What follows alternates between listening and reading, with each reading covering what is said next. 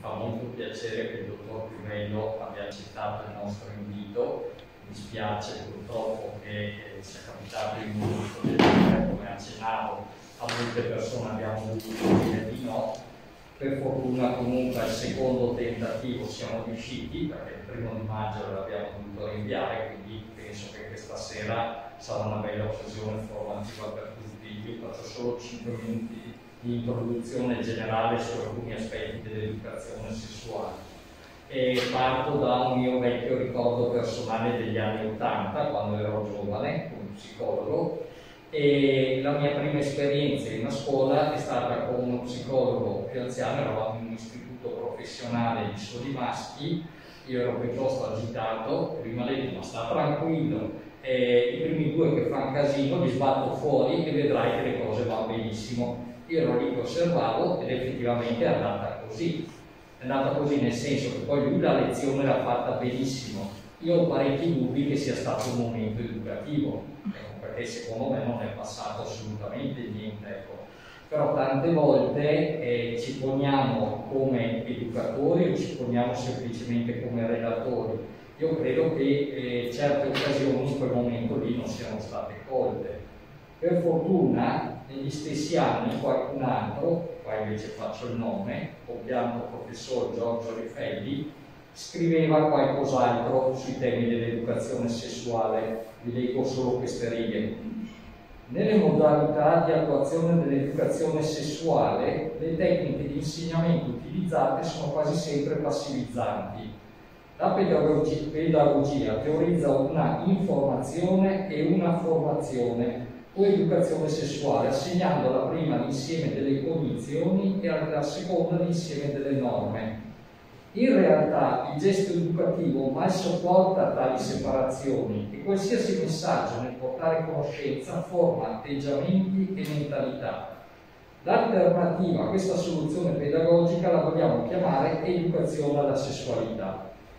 Essa è riconducibile a un atteggiamento educativo consapevole secondo il quale la sessualità è una possibilità dell'essere umano, la cui realizzazione non si muove verso una meta predefinita, ma richiede la libera e responsabile partecipazione di ciascuno per una costruzione che risulterà specifica per ogni persona. Non ci si muove quindi da verità precostituite o da modelli prefissati, ma dalla considerazione delle potenzialità da sviluppare. L'educazione della sessualità intende quindi fornire strumenti per la realizzazione di sé e non modelli. E come sembrano dei concetti importantissimi. Mi aggancio solo a una delle ultime parole, l'idea degli strumenti, perché può essere anche questa letta in vari modi. Quando, secondo me, il professore Felli parlava di strumenti, intendeva di sviluppare nei ragazzi o negli adulti la capacità in prospettiva, la capacità di chiedere aiuto, di sapersi confrontare veramente con l'altro e con l'adulto in modo particolare, che sia l'educatore, che sia il genitore, che sia l'insegnante. Bisogna vedere se noi per primi come adulti siamo in grado però di gestire le cose. E qua arriviamo a come si costruisce la sessualità nel maschile. E allora qua di maschi ce ne sono pochi, per cui farò qualche esempio anche concreto. E le battute, gli scherzi, le prese in giro, la pornografia di solito sono le radici della costruzione del maschile, poi il dottor più bello confermerà o meno e c'è un reale confronto con gli altri o tutto passa attraverso questi canali? Io non dico tutto, però molto passa in questo modo. Vi faccio un piccolo esempio personale che io ricordo di aver vissuto a 14-15 anni e che lo risento ancora quando vado a parlare nelle scuole. Però classica situazione, arriva lì il ragazzino, ci sono gli amici e ah, eh, tu che sei un esperto, è più importante averlo lungo, averlo grosso o saperci fare? E tutti chiaramente, eh saperci fare e tutti a ridere in coro. Ah ah, ecco un altro che ce l'ha piccolo. Ecco, questo è un esempio molto sciocco ma molto concreto di come nel maschile si costruiscono certi concetti, per cui poi sul pene non c'è più solo una questione di misure, ma c'è una questione di virilità e tanti problemi che poi si manifestano più avanti di eiaculazione precoce, di disfunzione erettile, eh, il più delle volte non c'entrano assolutamente niente con l'organo, ma c'entrano con queste insicurezze, mentre nel femminile molto più spesso c'è un reale confronto rispetto alle proprie paure, i maschi fanno un'estrema fatica, per cui quando a volte in classe vengono fuori le battute, secondo me sono proprio degli strumenti, sono delle occasioni in cui l'adulto invece che buttare fuori il ragazzo che ha fatto la battuta può creare un ponte nella relazione, un ponte partendo proprio da quello che loro hanno detto in quel momento. E I paradossi che io ho notato ultimamente, che i ragazzi d'oggi magari sanno tutto sul Viagra o su tanti altri farmaci e non parlano magari più nemmeno dei brufoli, cioè di qualcosa che parte veramente da loro, con tutte le insicurezze che crea rispetto alla propria immagine corporea. Questo per dire che si è sempre più attenti all'esterno invece che all'interno. Ecco, credo che un aspetto molto importante dell'educatore, una funzione, debba essere di riportarli su di loro. Non si è sicuri nella misura in cui ho certe conoscenze, ma nelle, nella misura in cui mi accetto come persona, nei miei cambiamenti, perché ripeto, i fantasmi interni spesso, come dire, condizionano, io ho presente alcune situazioni di terapia dove la persona ricorda, sa, quando avevo 15-16 anni ho avuto uno sviluppo puberale tardivo, io assolutamente non avevo peli, pensavo di essere impotente, come se i peli fossero direttamente collegati agli spermatozoi. Ecco, oppure il ragazzo che dice, sa, la mia prima corruzione, mi sono alzato carico d'angoscia, sono andato nella stanza dei miei genitori, l'ho raccontato e mio padre in due parole che mi dice, dai dai vado a dire che è tutto a posto. Eh, forse quel papà lì in quel momento non ha capito che il, il bisogno era un altro della ragazza, perché è vero che è tutto a posto, in quel momento, però forse le parole da usare sarebbero state un po' diverse. E per cui ecco, io ringrazio il dottor, dottor Pivello che ci darà questa sera l'occasione di approfondire queste tematiche. Il dottor Pivello adesso magari entrerà nello specifico della sua presentazione perché ha un sacco di titoli. Comunque andrologo e endocrinologo, da anni collabora nella formazione, io l'ho conosciuto ancora 30 anni fa presso il CIS di Bologna a cui apparteniamo entrambi e, e io come divulgatore penso che sia eh, una persona bravissima, cui speriamo che questa sera ci dia una mano sugli aspetti del, dell'adolescenza o anche dell'età adulta. Sono stato molto colpito dall'introduzione di Marco perché tocca alcuni aspetti maschili eh, rilevanti. Io ho portato del materiale, ma vorrei vedere con voi se questo può essere qualcosa che vi sta bene o se volete che andiamo a braccio o se volete che dalle mie centinaia di presentazioni scegliamo alcune altre cose che vi interessano. Sostanzialmente questo che volevo portarvi è l'esperienza che quando io ho fatto un percorso dirigenziale alla Società Italiana di Andrologia, ho fatto il tesoriere, il segretario, il presidente, e che è la società che raggruppa gli andrologi di formazione medica, mm? Per i quali, come il CIS raccontavo, l'anno scorso abbiamo fatto una formazione sessologica, per esempio, con due residenziali. Quantomeno perché un medico, anche se la medicina oggi va in tutt'altra direzione, spaccando nuovamente un'unità che sembrava raggiunta con la clinica che aveva pochi mezzi diagnostici ma molta attenzione all'analisi del paziente, oggi da pletora di mezzi diagnostici ha spostato completamente il paziente perché se uno la tosse fa nell'asta del torace non viene auscultato dal medico, no? tendenzialmente.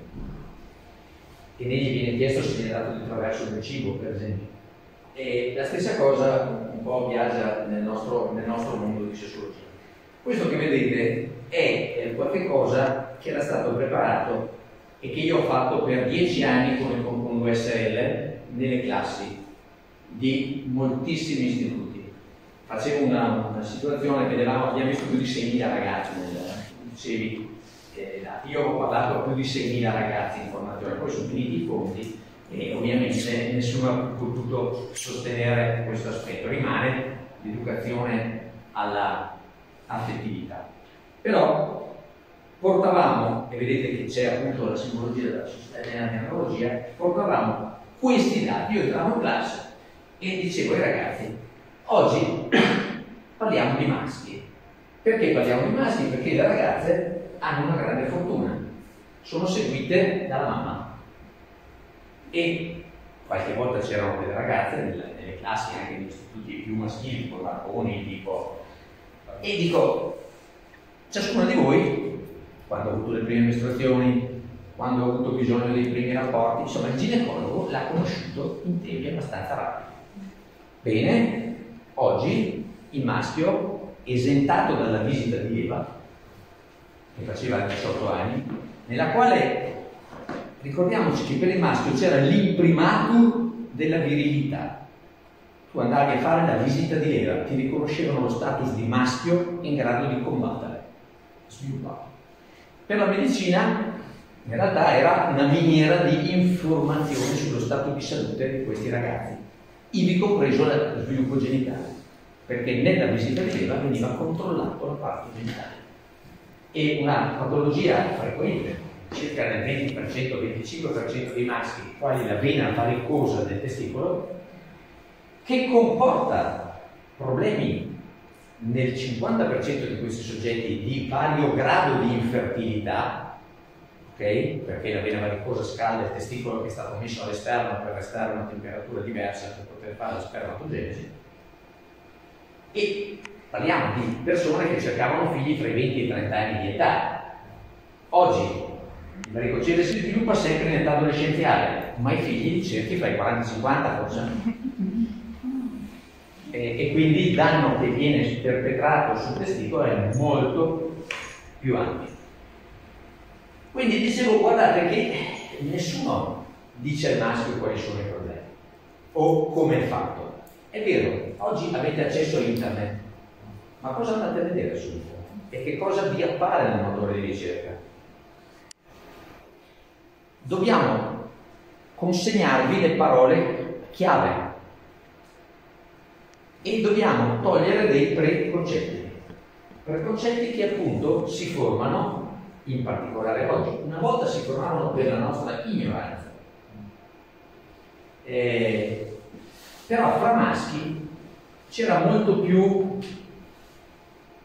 ci si mostrava il pene eh, ci si masturbava in gruppo per vedere alcune cose, cioè esistevano dei passaggi nei quali comunque si prendeva coscienza di alcune cose.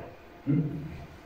Oggigiorno tutto questo accelerare di esperienze porta a ragazzi di 13, 14, 15 anni ad avere rapporti completi in assenza di una formazione. Eh, sarebbe come se qualcuno pretendesse di farli parlare a un congresso con parole eh, in grado di trasmettere dei concetti senza averli formati.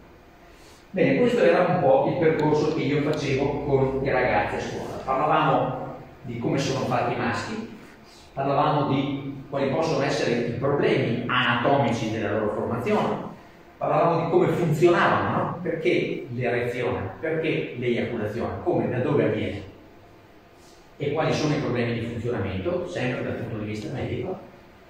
Se non c'era già stato il ginecologo, buttavamo qualche cosa sull'aspetto femminile perché avessero un'idea, banalmente, della lunghezza della vagina. Parlavamo dello stile di vita, considerato che oggi i ragazzi bevono, usano droghe, moltissimi hanno delle alimentazioni sbagliate, completamente sbagliate, tutto questo poi ricade sia sulla riproduzione sia sulla eh, sessualità. Poi ovviamente affrontavamo il concetto delle malattie sessualmente trasmissibili, della contraccezione, come aspetto anche maschile, e alcuni aspetti legislativi, no? cioè per esempio qual è l'età in cui il consenso è valido o non è valido per la donna e per il maschio, e queste cose. E questo era un po' il nostro appellando da queste cose, vedere alcuni di questi passaggi.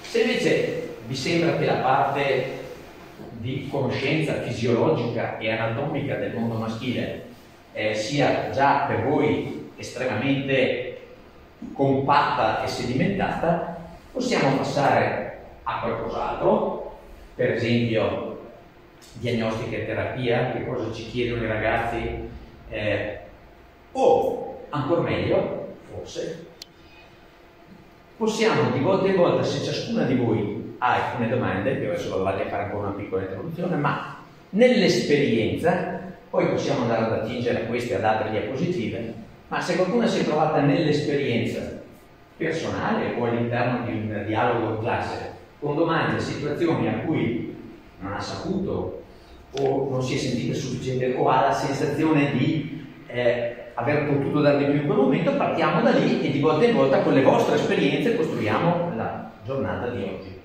Quindi, secondo me sono, sono aspetti differenti, io non, non, vi conosco, quindi non so chi di voi abbia e quale formazione, per cui dobbiamo decidere un po' insieme che cosa vogliamo fare. Prima Marco accennava al concetto di virilità maschile e io ritorno su alcuni aspetti anche al femminile.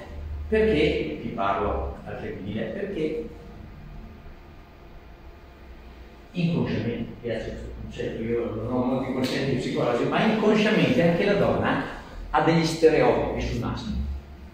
Credetemi, quando io lavoro per terapie mediche, su situazioni ampiamente mediche che sempre comportano un addendum alla parte psicologica perché è logico, ma una delle cose che dico al maschio che viene da solo e di cui mi rendo conto dalla storia che mi ha raccontato che esiste eh, un buon tessuto relazionale, dico sempre mi faccia questi esami, questi accertamenti di cui ho bisogno per capire se la sua radice prevalente di questo albero che poi visto da lontano esprime sempre la stessa eh, fogliame, ogni albero ha una chioma di foglie, no?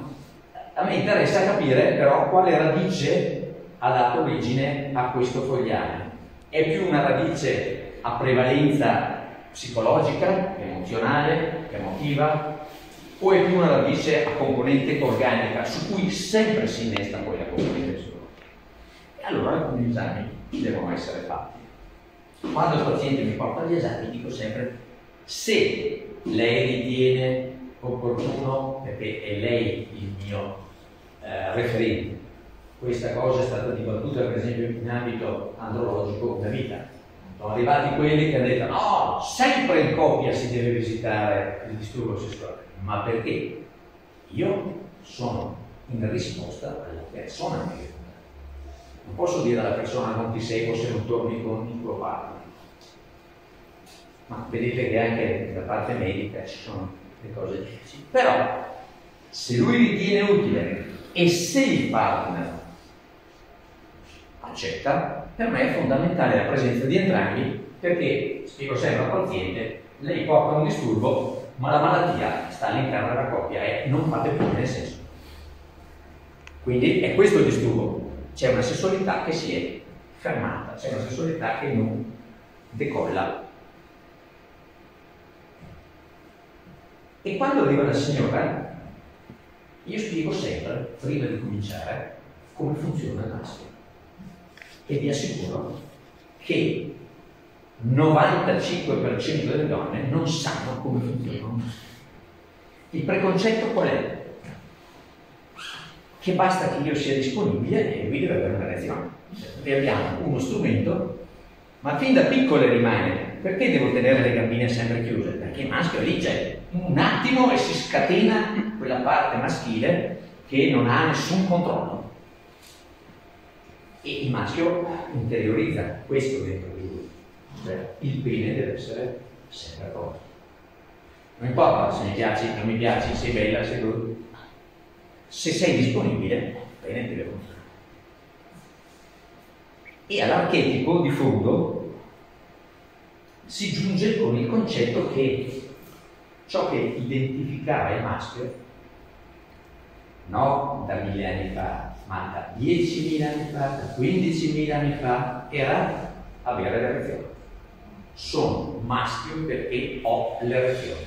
Vi ricordo che non era importante dove il bene eretto venisse inserito. I soldati che venivano vinti spesso erano sodomizzati dai vincitori. Nell'antica Grecia sapete perfettamente che la sodomia era pratica comune. Ok? Quindi non era dove mettevo il pene, non sono virile perché ho tante donne, sono virile perché ho erezione. Questo configura la mia immagine di virilità. Archetipa. E cosa configura l'immagine di femminilità? Moltissime donne dicono essere madri. Non è quello, perché per essere madri devi aver avuto un rapporto sessuale.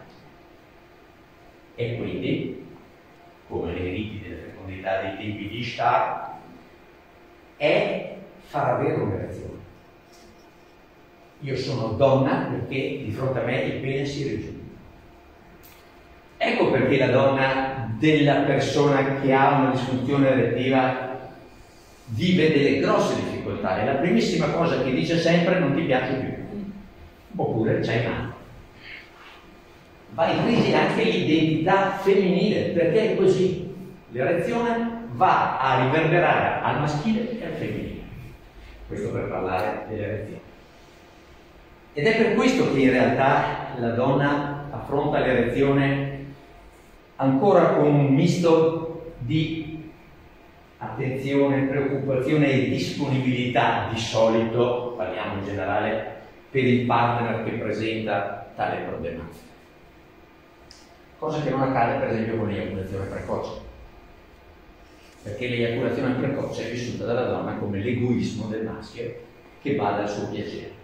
Infatti la donna è tremendamente arrabbiata col maschio che è precoce, non lo è col maschio che ha funzioni delle relazioni perlomeno in un primo periodo di tempo. Lo è se il maschio non va a fare nulla per affrontare il problema, mentre sull'eiaculazione precoce le, condizioni del vissuto emotivo delle persone di sesso femminile sono sempre verso la rabbia. Questo era per riprendere un po' quel concetto che eh, dicevamo. E oggi il maschio, se noi lo facevamo fra maschietti, Oggi il maschio lo fa confrontandosi con cosa? Con la pornografia. Io ho un sacco di, un sacco, veramente un sacco, perché devo dire che ormai i miei interventi viaggiano intorno al 25% con maschi di meno di 30 anni, laddove l'organico è davvero una rarità incredibile. E il disturbo più frequente sapete qual è? Non ho voglia.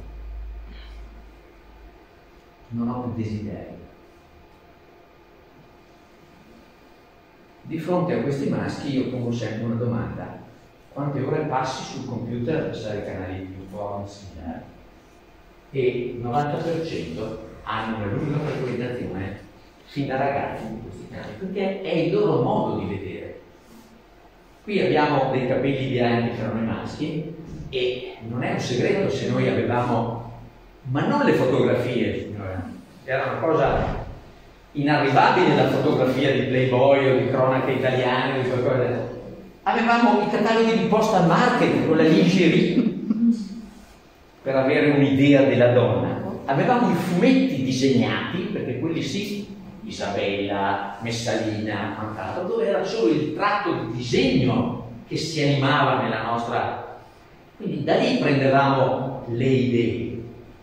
Oppure qualcuno che raccontava con con i modi che si poteva della sorella che era stata vista in bagno, no? E diceva no, ma è fatta così, è fatta così, eccetera, eccetera.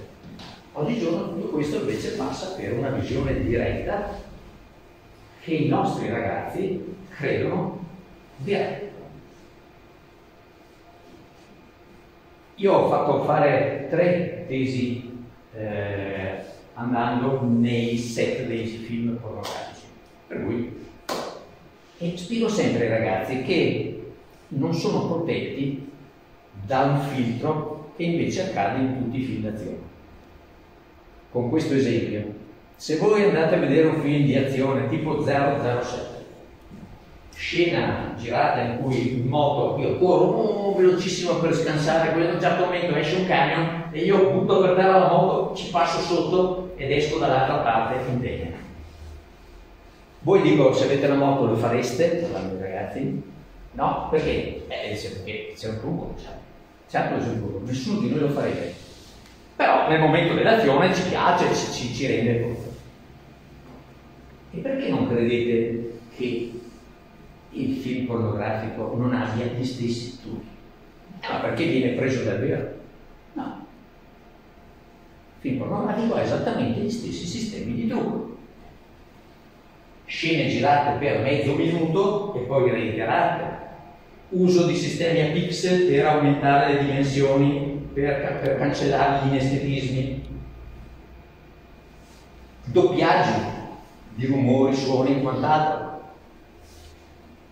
È chiaro che se il loro materiale di confronto è questo, la gran parte sarà inadeguata, si sentirà inadeguata o sarà inadeguato il partner Com'è che non salti su, su, sugli specchi e non urli alla luna ogni volta che facciamo sesso? Com'è che non ti metti in quella posizione strana che... Tutto qui, tutto qui, così, banale. Ah, ma è tutto qui. Questa è una delle situazioni dei nostri giorni. Stessa cosa riguarda la dimensione dei genitali.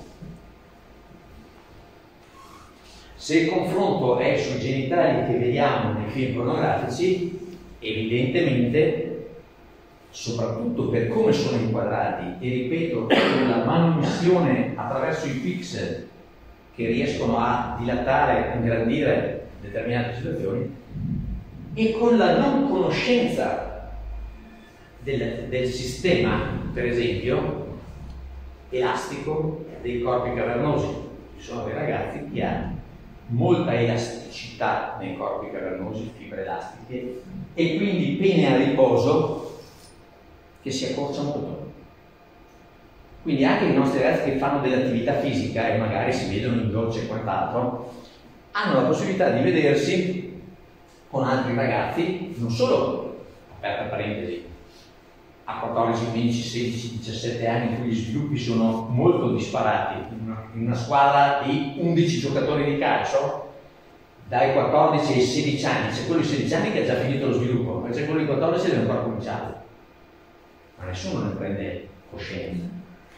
Primo discorso. Secondo discorso, fatto che io posso avere un bene a molte fibre elastiche, quindi quando è a riposo si accorcia molto, quando va in erezione si riduce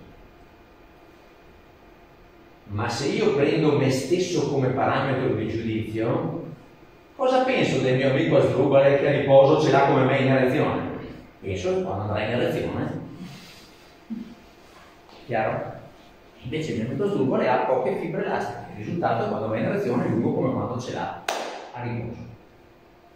Quindi banalità come queste, io spiegavo nel fatto che il bene si misura in erezione.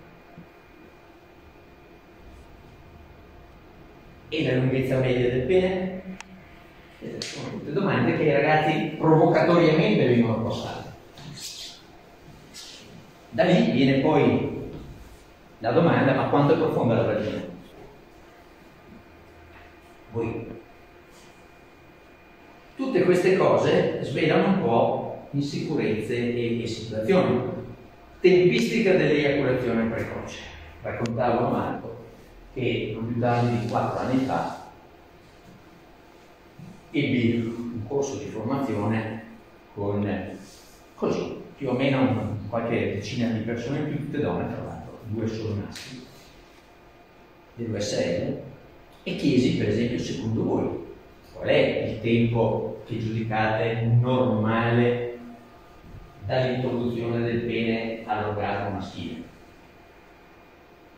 E alcune risposte eh, non in linea con la scienza, nel senso che ebbi risposte, la prima che parlò disse 20 minuti.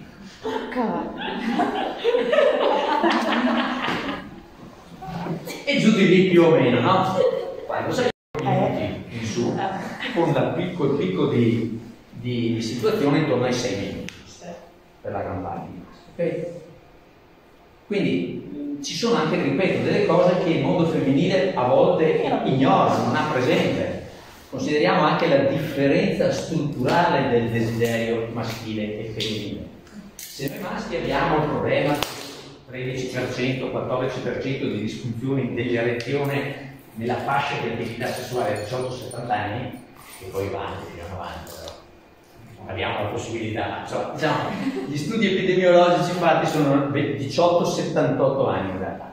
L'incidenza è intorno al 14% con un andamento ovviamente picchetto verso i 18-20 anni quando inizi, poi la situazione si normalizza e poi ovviamente con l'arrivare delle patologie croniche che hanno un'incidenza e una ricaduta violenta sulla, sull'erezione, addirittura l'erezione spesso è spia di malattia cardiovascolare, è spia di diabete, cioè il primo segnale di una patologia importante a livello fisico delle persone. Quindi man mano che passa il tempo, i farmaci che poi bisogna assumere per contrastare ipertensione, colesterolo e quant'altro, vedi che con l'andare del tempo nel maschio ovviamente i 78 anni hanno un'incidenza pari al 60% di difficoltà dell'erezione. Sulle stesse, sulla stessa lunghezza d'onda ci posizioniamo con l'eiaculazione precoce, che è più alta come incidenza, cioè è il disturbo più frequente a livello maschile. L'eiaculazione precoce ha un'incidenza intorno al 22-25% globalmente presa, quindi parliamo di eiaculazione precoce primitiva, da sempre, per primitiva intendiamo un'eiaculazione che sempre non viene controllata in tutte le situazioni, con ogni partner, fin dai primi rapporti sessuali.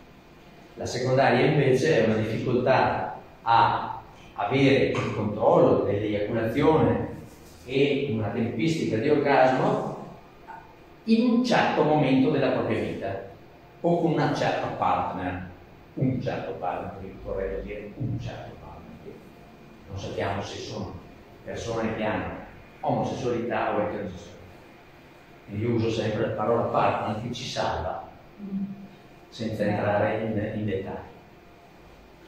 E quindi eh, le situazioni sono intorno al 25%, quindi è importante, un maschio su quattro ha delle difficoltà, mentre l'eiaculazione impossibile barra dolorosa è un evento raro, l'1-2% dei, dei disturbi della sessualità anche se presente però.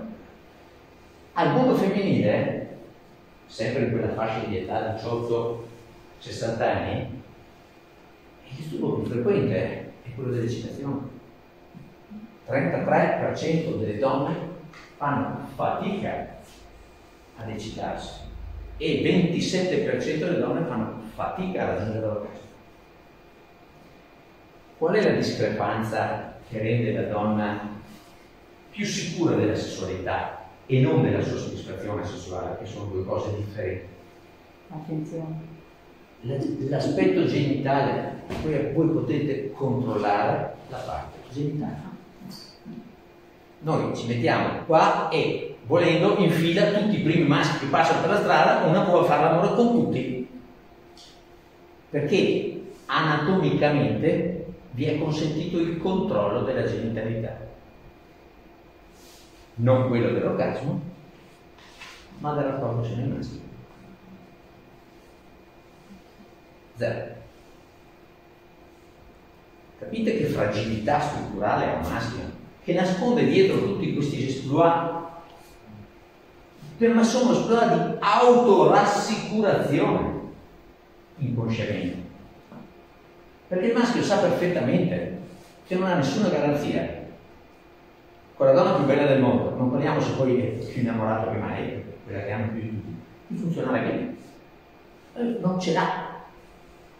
Se poi arriva qualche pensiero intrusivo all'improvviso, funzionerò, sarò all'altezza delle sue aspettative? Ok? Queste sono le problematiche del maschio. Orgasmo, benissimo. No, le donne che fingono gli orgasmi meravigliosi. C'era una scena del film famosa, nella quale nella tavola calda è bellissima quella scena. Quella ti dà l'esatta idea di ciò che un maschio non potrà mai fare. Basta guardare. Dov'è? Com'è? Sì, è capitato, vediamo, vediamo a volte in certe situazioni di infertilità in cui l'esame seminale, per esempio, mostra una buona qualità seminale, figli non ne arrivano, i rapporti avvengono. Io su queste cose sono un po' perplesso, chiamo il collega ginecologo e chiedo di fare qualcosa che oggi i ginecologi non fanno più perché non fa più parte del tracciato. Gli chiedo di fare un test post-coitale, di raccogliere in fondo alla vagina dopo un rapporto un campione per vedere se i spermatozoi si muovono, sono vivi, sono bloccati. No, non ce n'è neanche uno. Oh! Mistero. Ho un esame seminale perfetto, un test prospitale senza lo spermatozoo. Allora prendi il maschio e dici perché lei non riesce a vedere la vagina?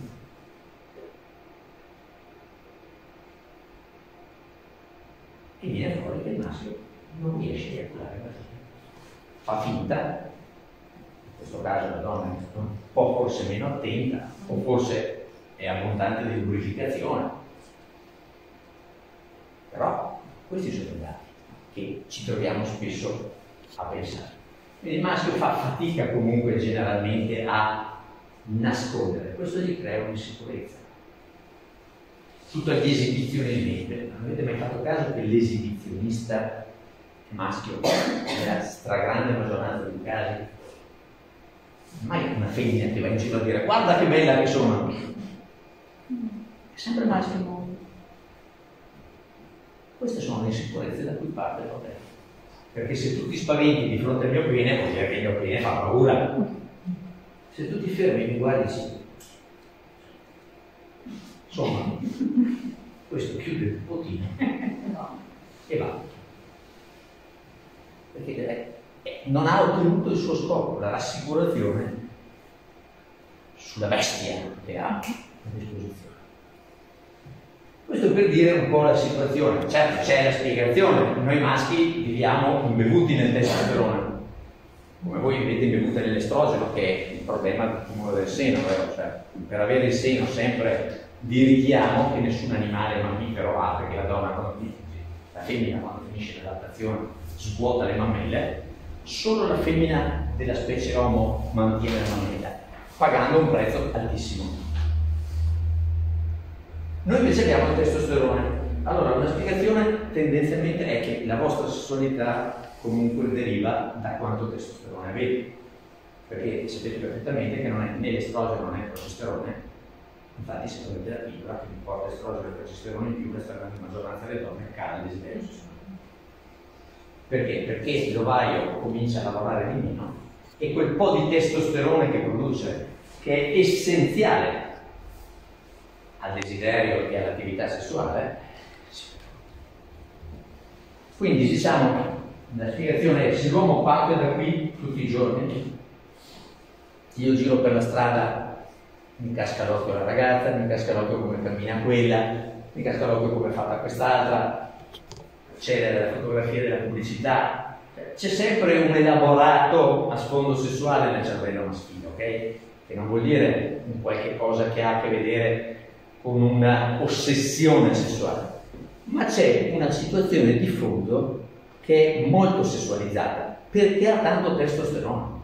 Quindi il maschio parte da qui e per arrivarsi poi all'eccitazione deve arrivare qui, ma il passaggio è breve. La donna che non ha parte da qui. Per arrivare qui deve fare un percorso, ecco perché i famosi preliminari non sono nient'altro che la tempistica che la donna ha per formare questo campo, per portarsi a livello di ciò che è già il maschio.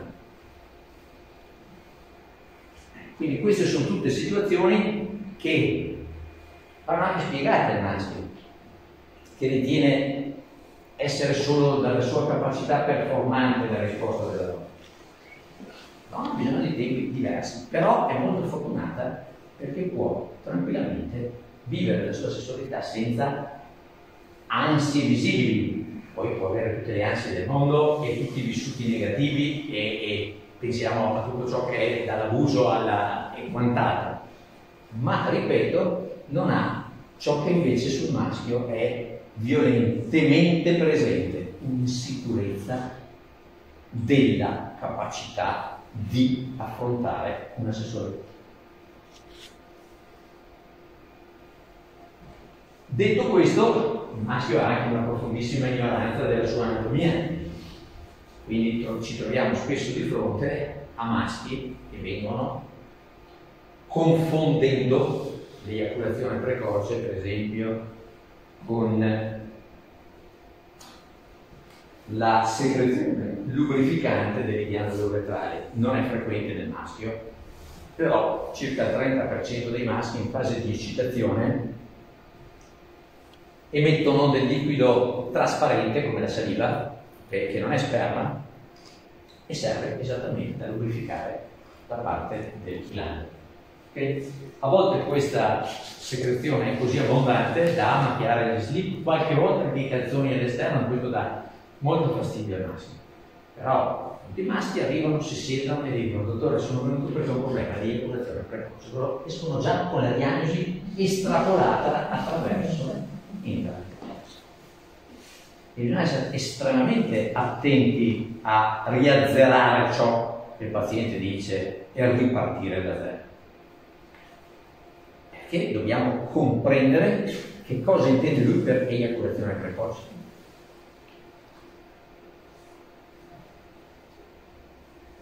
che è poi una di quelle problematiche che a volte a scuola raccontiamo quando diciamo che il preservativo va messo sempre prima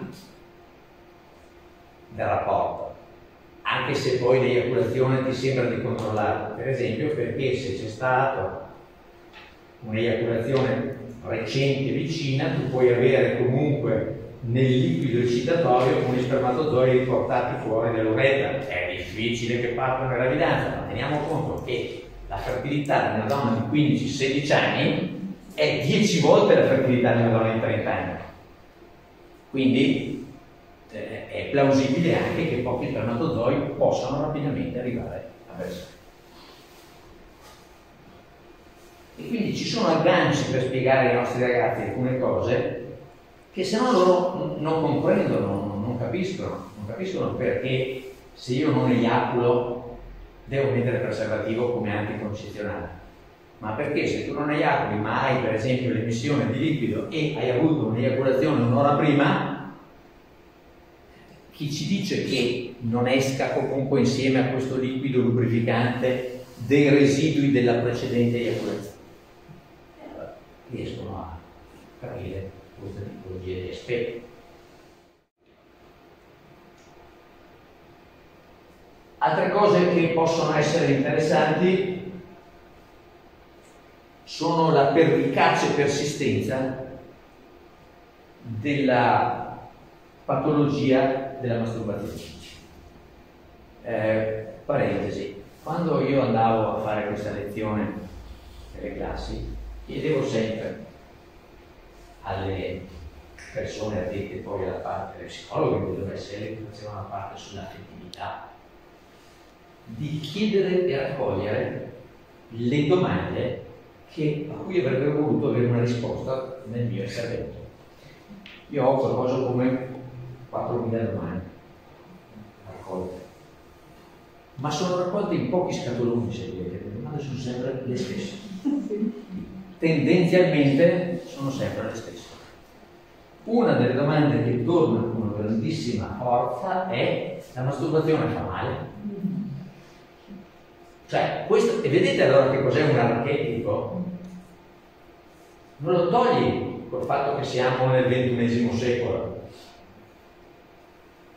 non lo togli col fatto che c'è internet, lo togli solo con la rassicurazione di un esperto.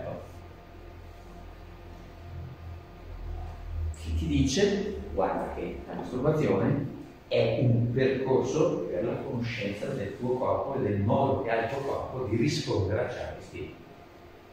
D'altra parte la medicina ha tutta la sua parte di colpo perché nella storia della disfunzione dell'erezione, nell'Ottocento, nel 1800, una delle cause portate in campo era la masturbazione. E sapete che erano stati fatti dei sistemi contenitivi contro la masturbazione che assomigliavano molto alle cinture di castità per le femmine. Venivano inseriti dei cinghi di cuoio con delle punte di ferro, delle cose veramente terrificanti per cercare di arginare la masturbazione. Quindi anche la medicina ha certamente moltissimi, moltissime colpe in questo. Però la masturbazione rimane un qualche cosa. Un'altra area su cui vertono le domande dei ragazzi è quella proprio tipicamente anatomica, magari poi andremo a vedere qualcosa di anatomico, quindi e si rompe sempre, perde la virginità l'uomo, c'è qualcosa di equivalente al concetto della perdita di virginità femminile, no? questo sangue che esce e quindi questo concetto che anche l'uomo perde la virginità in forma anatomica, no? il famoso filetto che si rompe o, o, queste fantasie in questa situazione. Torna spesso questo. E un'altra cosa che il maschio uh, chiede sovente è quando la donna è più disposta al rapporto o c'è qualche cosa che io posso fare per invogliare la mia ragazza al rapporto. Quindi già c'è questa sensazione di parlare con un mondo diverso.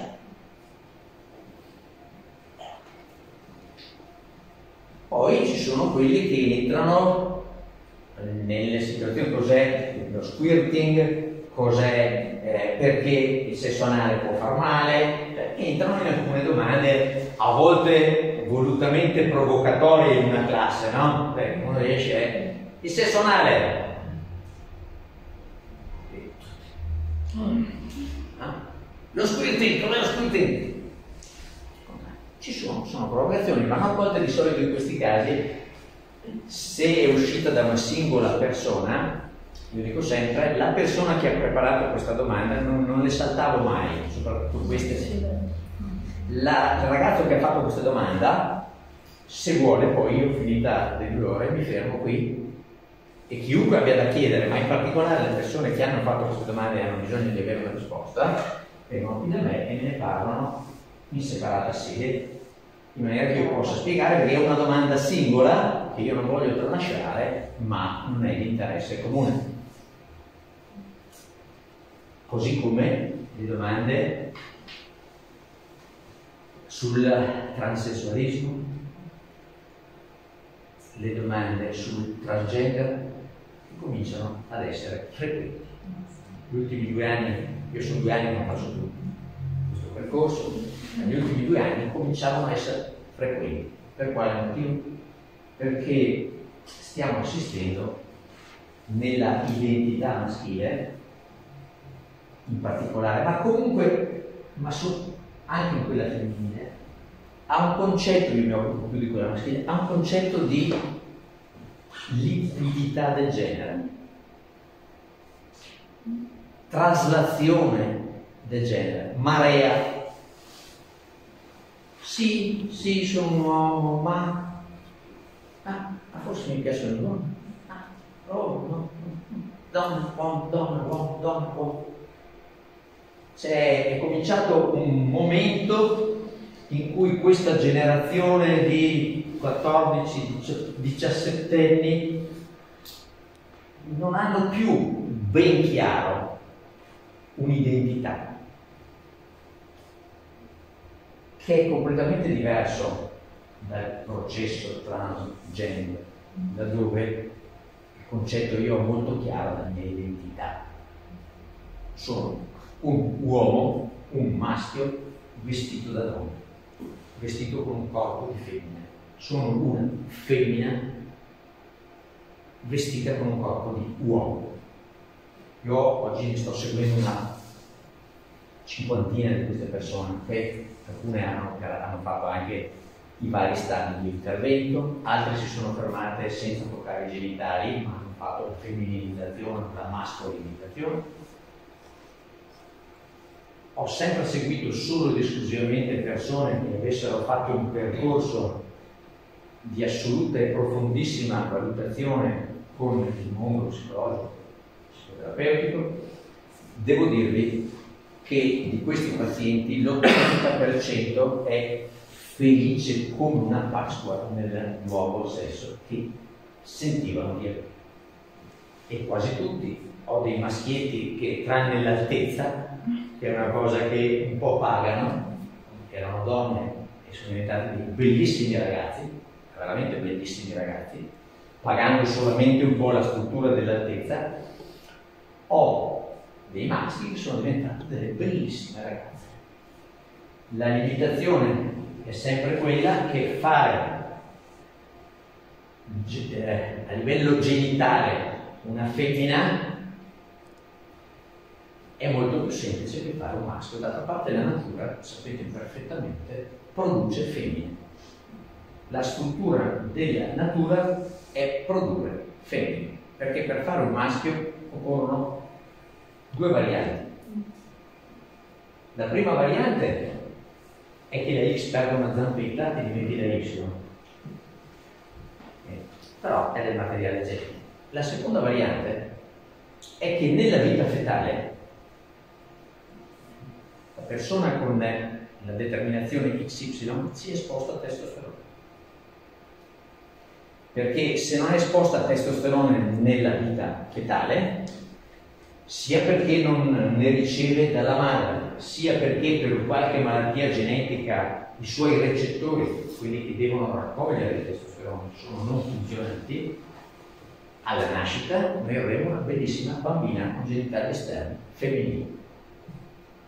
Poi, a vedere bene, avrà la vagina molto corta, i testicoli saranno all'interno come le ovarie, ma ce ne accorgiamo quando non arrivano alle menstruazioni. Oggi gli screening si fanno prima, ovviamente, però la sindrome di Morris era la famosa sindrome delle donne bellissime senza peli. Ecco, quindi la natura strutturalmente come standard a fare femmine. Noi maschi siamo uno sforzo, uno sforzo della natura. Ok? Perché per fare un pene dobbiamo prendere le grandi labbra, chiuderle, abbassare le gonadi a livello. Cioè, è, è, la stessa cosa, paradossalmente accade poi in chirurgia. Perché togliere un pene, salvaguardando la pelle che lo copre, e poi introiettare questa pelle all'interno creando uno spazio per fare una vagina, certo è un lavoro difficile, dura ore, ma vengono fuori assolutamente vagine eh, e femmine anche sessualmente assolutamente utilizzabili, passate il termine, da un pene. Ok?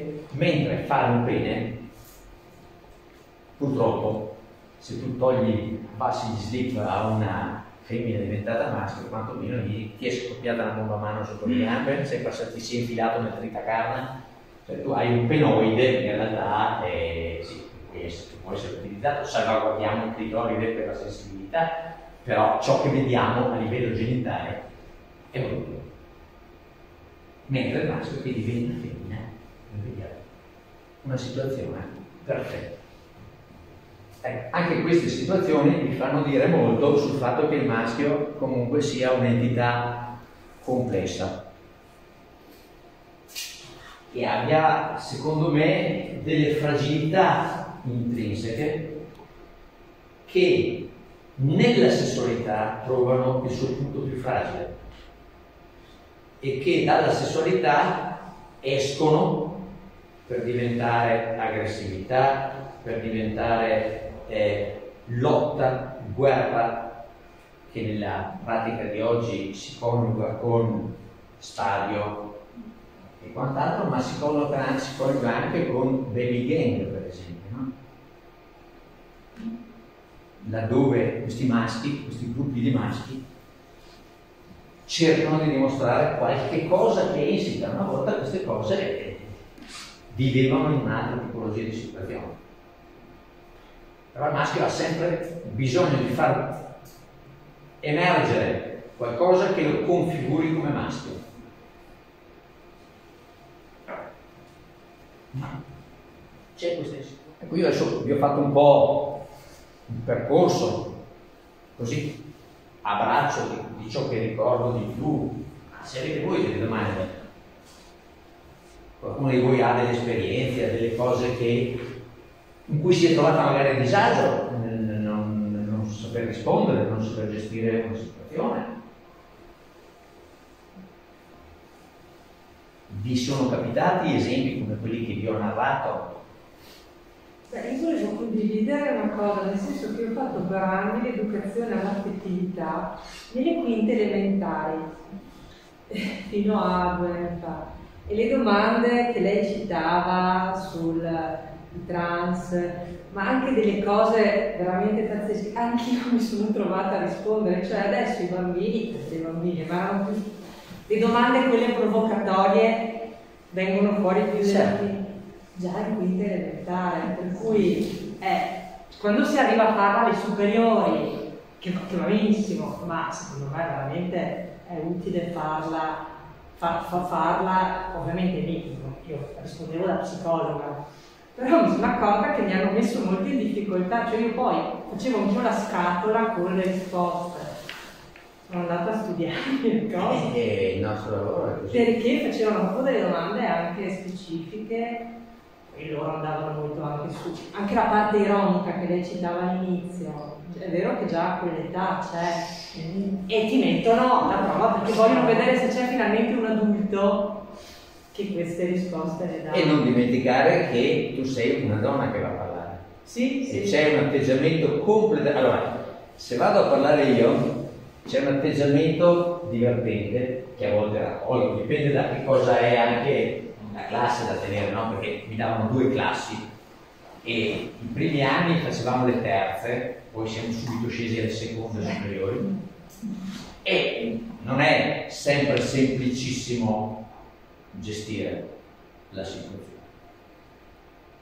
Però è molto divertente, quando vuoi prendere sull'acceleratore, giocare sul concetto di leader maschio perché loro cercano di capire se tu sei messo lì perché sei vecchio, perché sei, perché sei eh, una persona che sa e ha della prosopopea da insegnare a loro che invece sono sghiai, sono svegli, sono pronti.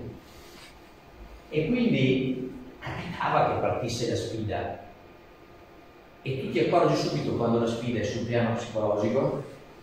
Quindi domande o quando la sfida è sul piano identità maschile. Allora, a volte è, è corretto anche da parte, io a volte raccoglievo questa sfida, nel modo più semplice, mi avvicinavo a questa persona e gli dicevo, tu che adesso in questo momento stai cercando di creare della confusione fra i tuoi amici che stanno ridacchiando se io ti dicessi andiamo fuori e misuriamoci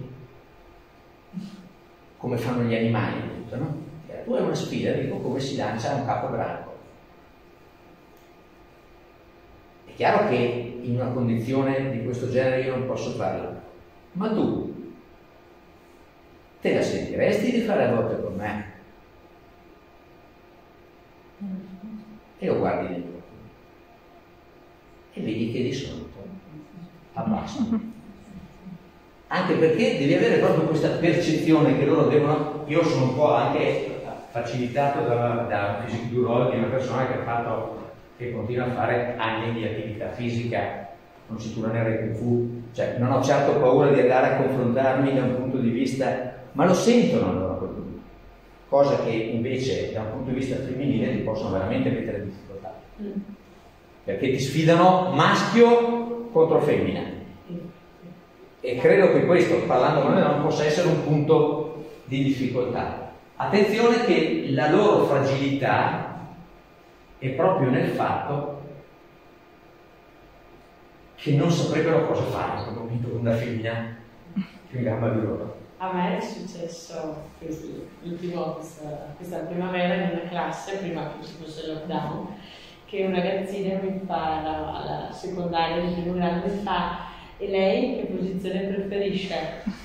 Allora abbiamo avuto un attimo di... Ha detto cosa posso fare? Posso utilizzare questa cosa? Ho detto, vedi, questo si chiama violenza, perché tu ti stai approfittando del fatto che io sono donna per mettere a disagio, per creare una situazione imbarazzante. E questo è uno dei tanti tipi di violenza sulle donne. Mi ha detto che noi, infatti le ragazze, queste capitano, ci mettono a disagio.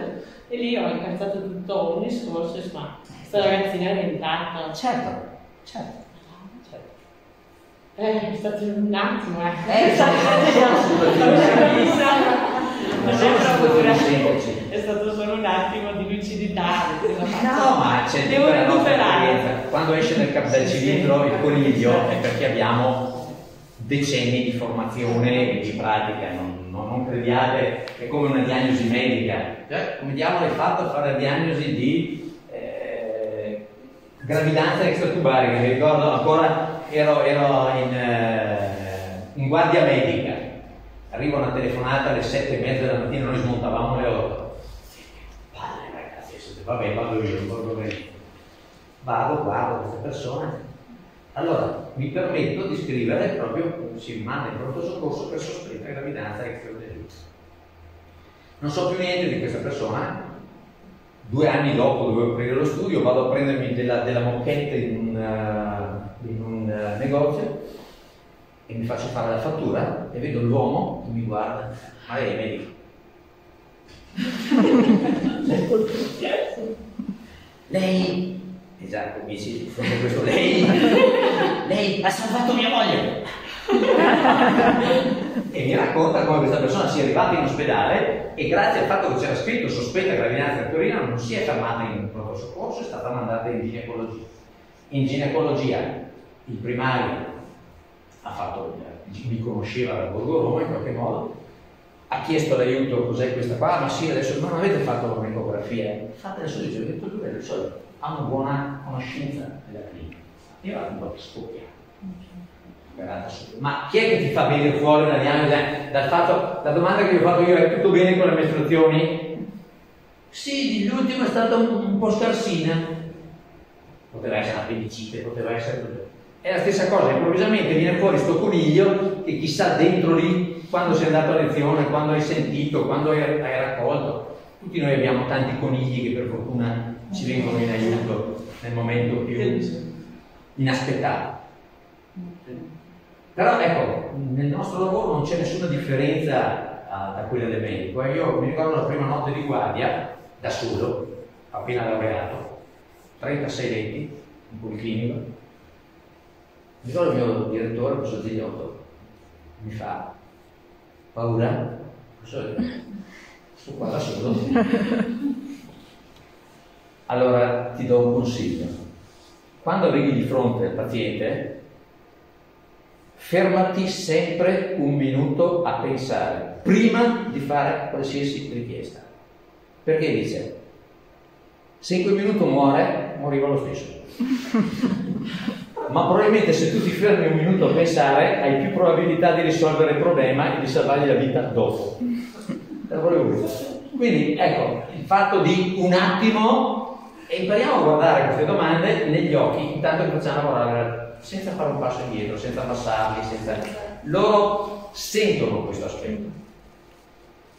E se noi continuiamo a guardarli negli occhi, cedono tendenzialmente psicologicamente, perché comunque noi siamo già su uno scalino educazionale superiore. Loro ci hanno già messo là, ci devono sfidare perché comunque siamo già un po' più in alto. Prendiamoci un attimo di tempo, facciamo funzionare, cerchiamo i nostri conigli nel cappello. Ok? Vi faccio vedere alcune cose. Se non escono delle altre domande, sono le 7 e un quarto, abbiamo un po' un po'. Sì, ma dovrebbero essercene parecchie, perché qualcuno mi aveva detto che... Allora, forza! Dai, ti chiedo una cosa se, se posso, prima parlavamo di cause organiche, delle disfunzioni che tante volte arrivano già con la diagnosi in mano, no? soprattutto magari quelle i giovani che guardano su internet. E lei diceva che sì, ci sono quelle 100% organiche e quelle miste, diciamo, che se magari diciamo su sto fondo Oh, quelle organico, 100% psicologiche. con quelle 100% psicologiche. eh, come procede lei e soprattutto magari al paziente, comunque il cliente, come reagisce al fatto che ci possa essere anche qualcos'altro no, da andare a fare, perché la, quello che ad esempio era la mia idea è che tante volte c'è anche una rassicurazione che sia al 100% organico, perché solu- c'è problema, soluzione, mentre diciamo una cosa diciamo, più psicologica o mista, come reagisce ecco, il, il paziente in questo caso. E certamente il maschio ha il terrore che non sia qualcosa di organico. Il maschio di fronte a ti vengono a dire, mi ha mandato, a volte vengono da soli, altre volte mi sono inviati, devo capire se è qualcosa di fisico o speriamo di no, di psicologico. Il maschio accetta che tu gli dica hai un tumore del testicolo, piuttosto che gli dica guarda, lei è sano come un pesce, la sua situazione disfunzionale sta in un percorso interiore che ha un'origine emozionale. Allora, prima, il primo incontro mi serve per la lettura del problema, che io eseguo nell'anamnesi molto dettagliata, quindi dividendomi il mio paziente in quattro aree, l'area somatica, la relazionale, la socio, socio, di attività e l'area intrapsichica. In queste quattro riporto anche quella che è il concetto di agenda del paziente, cioè la capacità di ricordarsi, questa è una cosa medica in realtà, e nasce dal fatto che avevamo, consideravamo la, la, il trattamento disease centered o patient centered. Disease centered vuol dire che io ti prendo, ti faccio una diagnosi, ti do le medicine e curo la terapia. Fine. Il patient centered invece tiene conto del vissuto del paziente sulla sua malattia, che può essere benissimo organica, ma non è mai scevra da alcuni passaggi della persona, che la persona porta con sé proprio come un'agenda, eh? che sono come vive questa malattia, questa malattia in che ambito sociale si manifesta, che aspettative ha il paziente, nei confronti di, della malattia e del medico. E quindi queste sono cose che noi dobbiamo cercare e vanno relazionate in questo. Visito il paziente fisicamente, quindi dopo aver raccolto un'anamnesi attenta sia fisica che, eh, per esempio prima dicevo la domanda su quante, quanto utilizza l'internet, una domanda fondamentale nei giovani si visita il paziente, che cosa vediamo in un maschio? Per noi è importante per esempio lo stato di androgenizzazione, sia nel giovane che anche nel meno giovane, quindi la peluria, l'atrofismo muscolare. Valutiamo lo stato dei testicoli, sono piccoli, sono normali, sono di consistenza duro-elastica o molli. Valutiamo l'asta del pene, quindi la dimensione, lo stretching a riposo, prendiamo il pene da, sotto il glande e lo allunghiamo in maniera di capire se ci sono delle placche che lo tengano bloccato o quant'altro. Se ha più di 50 anni guardiamo che la prostata perché i nervi che conducono il segnale di direzione passano a fianco della prostata, per cui prostate particolarmente ingrossate o in infezioni prostatiche possono disturbare questo segnale il peggio è ovviamente nelle terapie del cancro della prostata, dove quando ti porti via la prostata spesso vai a rovinare questo percorso nervoso. Anche se oggi ci sono delle tecniche chirurgiche di nerve sparing in cui si cerca, soprattutto nelle persone più giovani o che nell'anamnesi hanno una buona vita sessuale, di salvaguardare questi fasci nervovascolari che sono attaccati, quindi sono delicati come ragnatele, quindi bisogna proprio scollarli piano piano, almeno uno cercare di salvare. Fatto questo, faccio una diagnostica ormonale di base, eh, quindi dosaggio del degli ormoni che sono pro vita sessuale, testosterone in questo caso, contro la vita selato che faccio l'atto della prolatina. La prolatina nel maschio è un ormone che si alza nello stress e va a disturbare il mondo eh, della, reazione. Quindi alcuni di questi esami. Ovviamente vado a vedere che abbia il diabete, quindi chiederò una, valutazione dello stato dello zucchero, del colesterolo, perché la reazione è un fenomeno idraulico sostenuto da due arterie che hanno un diametro di un millimetro. Quindi eh, basta che si depositi un po' di colesterolo in quell'arteria e è, è difficile. Fatto questo, attendo il paziente al controllo, controllo con cui se è single, ok, se è coppia chiedo breve, e a quel punto si posiziona un po' la diagnosi generale. La diagnosi generale, è, laddove sia francamente organica, richiede il supporto di alcuni farmaci.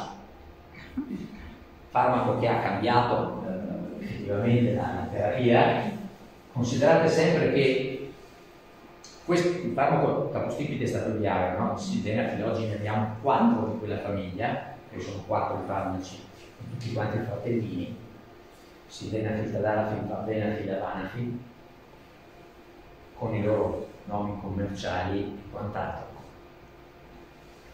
Ma eh, ciò che eh,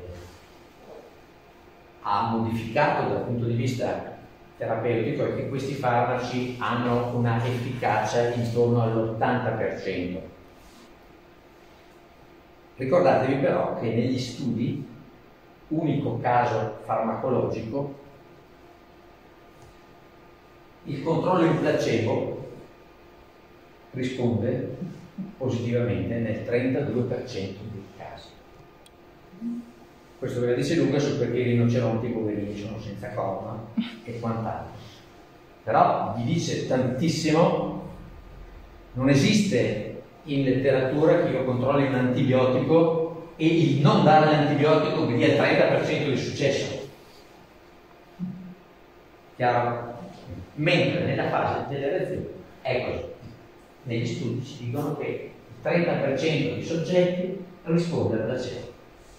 Questo per dirla lunga sul... Uh, ma ci sta, d'altra parte, ciò che spiego ai ragazzi più giovani, che sono quelli che ormai stanno diventando veramente una, una costante nel mio studio di etologia, è il concetto di tono iperadrenergico.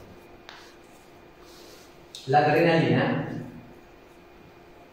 è qualcosa che va fisicamente, e di questo cerco di tessere un ponte tra la paura dello psicologico e il piacere dell'organico, se possiamo passarlo, col fatto che l'ansia la prestazione in realtà il nostro corpo la traduce con la produzione di adrenalina. E chiedo, sapete cos'è l'adrenalina? Dice sì, è quell'ormone. No, l'adrenalina è qualcosa che noi abbiamo ancora da quando non eravamo certo homo da quando eravamo mammiferi ed è un adattamento di fronte a una condizione di pericolo, nella quale noi siamo chiamati a fare solo due cose, attacco, fuga. Quindi l'adrenalina è qualcosa che ci mette in condizione di salvare la pelle. Come? Attraverso una scarica che va a colpire parecchie cose. Per esempio, quando lei è con, sua, con il suo partner come si sente fisicamente? Anzi, ho il cuore che mi salta fuori. Bene. Questo serve perché se invece il suo partner lei avesse un leone davanti, ai suoi muscoli arriverebbe più sangue. E poi, dice, poi, oddio, a volte mi sento sudare, lei però, certo, dico, perché se lei non avesse vestiti, come i lottatori si ungevano, il sudore la renderebbe viscida alla presa dell'avversario. E poi sa cosa c'è ancora? Che diventa pallido lì. Sì, è vero, mia compagna mi dice che sono bianco come... E di quell'adrenalina sa cosa fa? È un vasocostrittore della superficie. È così. L'adrenalina va a chiudere tutta la circolazione superficiale. Perché? Se sto lottando con il leone che mi taglia qui, se io perdo sangue mi indebolisco. Quindi di fronte a questa situazione il sangue viene spostato dalla superficie del corpo e dalla periferia all'interno della posizione più protetta possibile. Bene dov'è lì? Dentro o fuori? Lei lo si vede scappare col veneretto in mezzo alla savana che cuore dietro.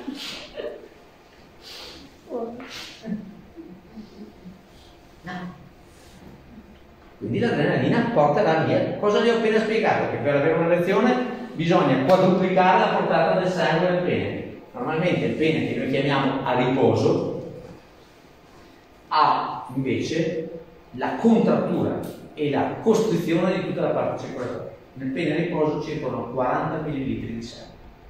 Okay? Tanto vero che la natura ci è data da fare e al maschio dà le erezioni notturne. Il maschio ha due erezioni. Quella sessualmente mediata dal desiderio e quella della notte, che parte da un'altra area del cervello.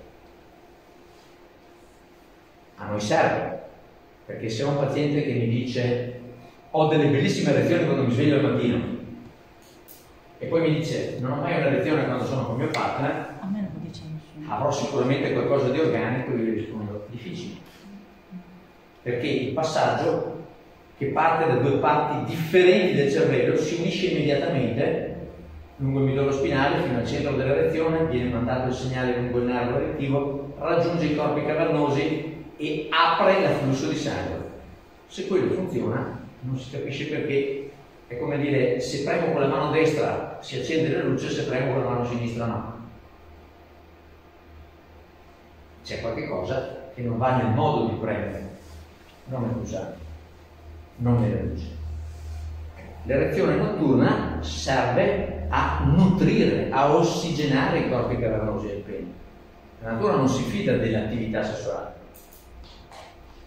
Da neonati fino alla morte, se stiamo bene, noi durante la fase REM del sonno abbiamo l'erezione. 3, 4 episodi per Se abbiamo un buon sonno, se dormiamo bene. Questa è un'altra cosa importante da sapere. E quindi ecco perché spiego che l'ipertono adrenergico crea una condizione fisica per la quale è impossibile avere l'erezione.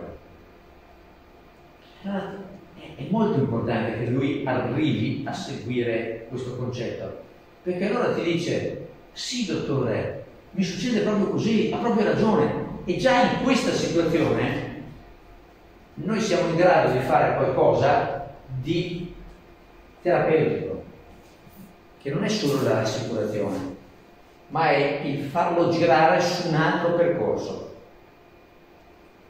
tirarlo fuori dalle sue lucubrazioni che lo stavano di fatto soffocando perché ogni volta che metteva in atto un comportamento per ovviare questa situazione gli si ritorceva contro.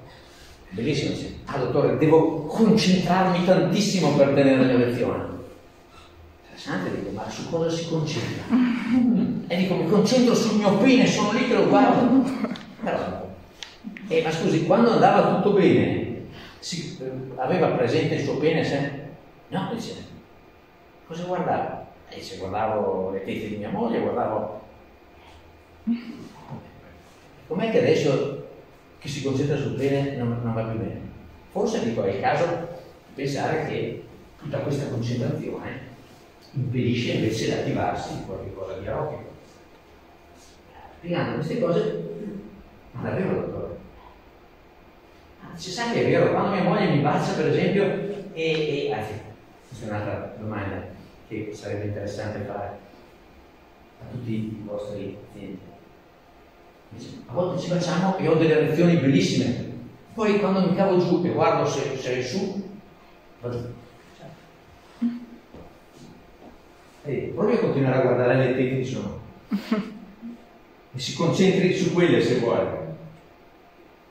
Tutte queste cose che in realtà denotano una condizione di fatica e dei comportamenti che in realtà sono disadattativi. Se tu glieli svolgi e lui comincia a prendere la cosa da un altro punto di vista, hai già fatto tantissimo per la parte counseling. Mi piace mia moglie, ma ultimamente, non so, è tutto un po'. Scusi, quando ha baciato l'ultima volta sua moglie sua nuca?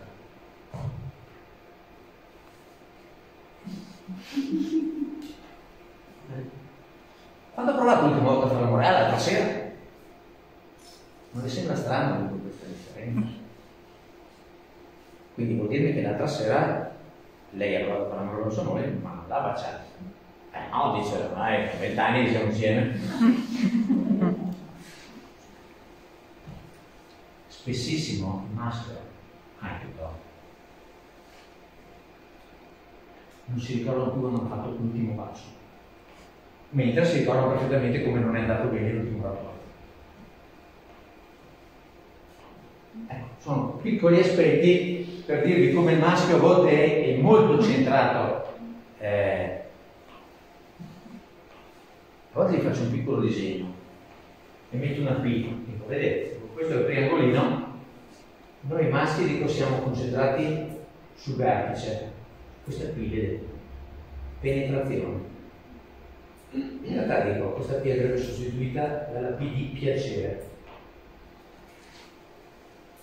che è poi la base del nostro lavoro in cui cominciamo dalla carezza più esigente e riscopriamo il piacere corporeo inteso in senso ampio. No? Anch'io a volte utilizzo il concetto di proibire l'attività di penetrazione, anche quando comincio a dare la terapia. E molte volte uso il farmaco anche nel soggetto giovane, francamente psicogeno laddove l'ansia di prestazione è davvero diventata non governabile, il farmaco rappresenta una buona scelta perché il paziente ha già girato tanto, non sopporterebbe di essere inviato a una terapia mansionale eh, o sessuologica o psicoterapeutica che gli è prospettata dalla sua esperienza inconscia, da ciò che pensa come qualcosa di lunghissimo, e lui non ha tempo. Non ha tempo perché magari la ragazza ha detto ti lascio. Curati perché io vado via. E quindi la possibilità di intervenire attraverso un counseling specifico in seduta e l'utilizzo di un farmaco, ma che non sia in questi casi un farmaco on demand. Quando noi parliamo del farmaco, noi abbiamo due modalità di erogare il farmaco farmaco in forma on demand, cioè mirato al rapporto sessuale. Cosa vuol dire? Non è che ti guardo, metto in bocca la pastiglietta e abbiamo un rapporto. Certo, è più ampio, sono farmaci che tendenzialmente sviluppano la loro attività secondo questo arco di, di modalità. Assumo il farmaco, dopo circa mezz'ora, barra un'ora, dipende dal farmaco che ha le proprie caratteristiche cinetiche, il farmaco è arrivato nel pene, e nel pene staziona per, anche qui dipende dal tipo di farmaco, da 4 a 48 ore. Quando al pene arriva il segnale dal cervello, il farmaco aumenta, in realtà impedendo la distruzione di una sostanza, aumenta la capacità di mantenere. È utile il farmaco on demand? Certo, è molto utile. Nel settantenne che ha un rapporto ogni 10 giorni con, con la moglie da una vita e che ha un problema vascolare importante e che in realtà ha una programmazione che è un modo di stare insieme, ci conosciamo, capiamo che stasera può essere la serata giusta, mi prendo il mio farmaco al bisogno, magari prende già anche tantissimi altri farmaci. E anche qui è stato enfatizzato il concetto Dio devo prendere il farmaco per poi fare l'amore. Sì, in qualche modo ci va una, una, qualche programmazione, non è che devo prendere il farmaco e dopo tre minuti andiamo a letto.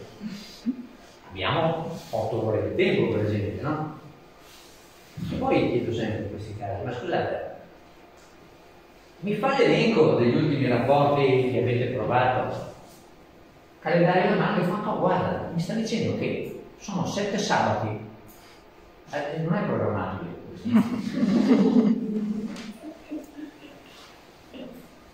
Perché bisogna smontare anche certe convinzioni. Ah no, ma così è programmato. No? Gran parte delle persone programmano perché è sabato vanno fuori i figli, eh, io lavoro, tu lavori, eccetera, la domenica mattina siamo più tranquilli. E va benissimo, quindi programmato, secondo me ha una sua perna. Col giovane in particolare, dove esiste l'ansia di prestazione, se tu gli dai il programmato, Sai cosa fa lui? Eh, sì, questo mi aiuta. Però sono veramente malato che devo prendere sempre farmaco. Sono impotente, non cavi più fuori da lì, diventa dipendente dal farmaco. Questi sono i pazienti che vanno trattati col farmaco quotidiano, né più nemmeno come diamo il farmaco per la pressione, per il diabete. Si dà un farmaco tutti i giorni, la mattina, quindi ben distante dalla vita sessuale. Questo farmaco rappresenta un continuum che permette al paziente di avvicinarsi alla sessualità da prima cosciente che ha preso un farmaco e poi sempre meno cosciente che c'è il farmaco che agisce e gli riporta una certa forma di sicurezza.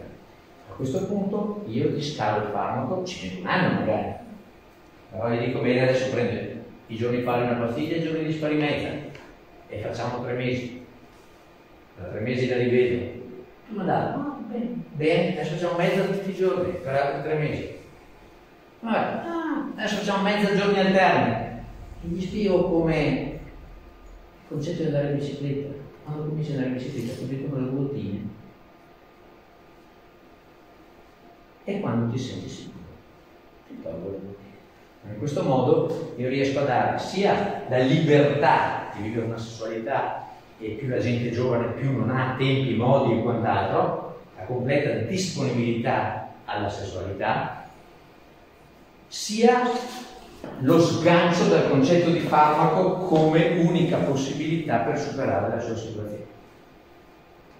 E piano piano riesce a recuperare il 100% di questi pazienti se dietro non ci sono altre problematiche importanti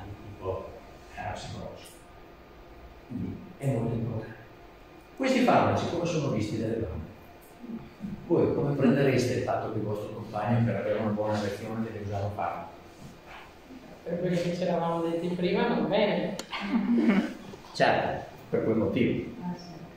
La risposta è sempre sottofondo, ma io gliela tiro fuori prima.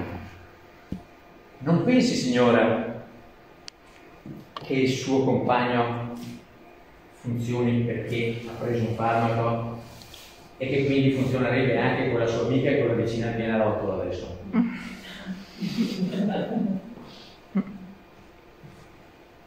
Perché il farmaco necessita dell'attivazione della testa. E vedi, signora, se lei non mi attirasse, io potrei prendere una scatola di questo farmaco, non avrei mai un'erezione. Ecco, queste sono cose importanti da dire una donna. Dire che è sempre lei e la sua femminilità che dà origine all'erezione. Il farmaco serve solo a sostenere il segnale finale È vero. in quella situazione. Non è toccata, ed è, ed è proprio vero, eh? è proprio così. Cioè io posso prendere una scatola intera di farmaco, ma se vado con una donna che non mi interessa, non mi attrae, non mi piace. Vero è che va anche spiegato che ci sono dei, so- dei soggetti che hanno un livello di ansia così esorbitante che non rispondono al farmaco ma non rispondono neanche al livello massimale della terapia medica, che è iniettare direttamente nel pene, con un ago molto sottile, un vasodilatatore che esclude completamente in questo caso l'attività del cervello. Cioè io bypasso il segnale e lo porto direttamente nel pene. Bene? Se i livelli adrenerici sono alti, neanche questo funziona.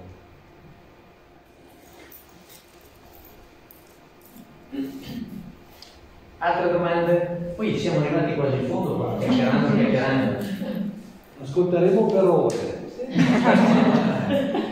Ma i ragazzi hanno un po' questa convinzione invece che il Viagra è l'ennesima nuova soluzione per il Viagra. Eh, Adesso per le prossime otto ore, Allora, in non, terra matematica, vado per la strada, qualche cosa. non solo ragazzi.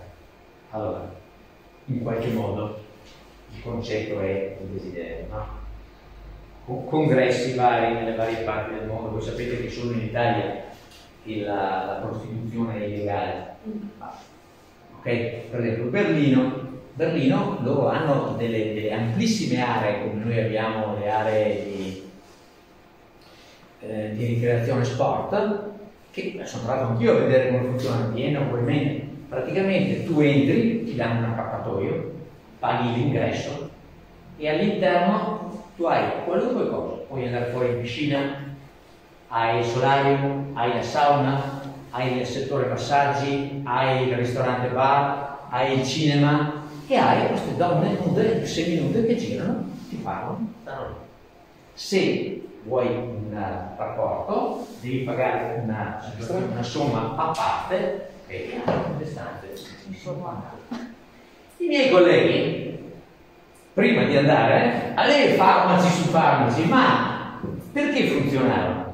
Per due motivi. Uno, perché arrivavano col desiderio intrinseco della, non della singola persona in quel caso, ma erano già infarciti del desiderio di non fare brutta figura, fra l'altro, no? Perché lo sapevano perfettamente che io vado da una persona che non conosco, che è il massimo del rischio che puoi correre, perché vado per fare quello. È la stessa cosa per la quale è divertente spiegare che si può tradire il partner ma quando viene funziona non parli. Perché vai a farlo sotto stress. Se invece non funziona col partner, andare a vedere se con un'altra funziona eh, è quanto di più distruttivo perché non funzionerà e tu avrai la certezza di essere finito come maschio. Quindi il concetto era questo, lo assumevano questo farmaco per dire comunque vado in una certa dimensione. Quindi c'era una dimensione di struttura che lanciavo su. Ma laddove non c'è un segnale positivo, il farmaco non funziona. Non c'è niente da fare. Altra problematica. Oggi non esiste più il corteggiamento. Entriamo in un altro aspetto. Se oggi fossi un ragazzo, ahimè, perché dico, ai nostri tempi non era così, ma oggi mi sentirei profondamente a disagio perché sceglievo io il modo e il tempo di corteggiare una persona, okay? mi avvicinavo, ci provavo, ci facevo, ma secondo i miei tempi mi preparavo psicologicamente e mettevo la mano sul ginocchio e al cinema provavo a infilare, ma era tutto un percorso che io mi costruivo all'interno per prepararmi a questo. Oggi, signori, alla mia rispettabile età, ho più donne di 30 anni che mi corrono dietro, ok? E che ti incantonano tecnicamente, ok? E quindi, ma i ragazzi te lo raccontano. Che diavolo fai ad andare in un posto e quella ti dice dai andiamo in bagno. Cioè, il ragazzo non è né preparato né pronto né abbiamo questa possibilità. Se non siamo noi a scegliere i tempi, ma ci viene imposta, scatta un'ansia di prestazione folle. Perché? Come ti prendono in giro i tuoi amici? Cosa hai fatto? Come non ci vai? Io anche no, sai, magari sono un po' in ansia. Che uomo sei? Te la dà. Capite? Oggi la donna è diventata assolutamente aggressiva nel senso buono nella sessualità. Partendo da una genitalità che lei controlla benissimo e che però si perpetua una difficoltà orgasmica anche nelle giovani, parte alla ricerca, ti punta e ti porta via. E se tu non sei all'altezza, sapete cosa c'è oggi? Lo sputtanamento via internet. Giovannino non ha funzionato, Federico ce l'ha piccolo. I ragazzi sono in una situazione di estrema attenzione oggi verso il mondo femminile, di estrema insicurezza.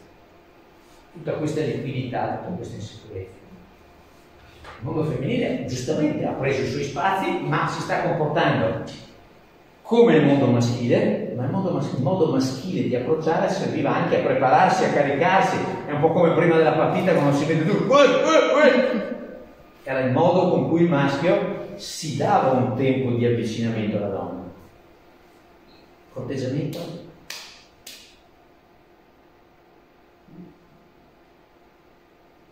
Ma serviva il maschio.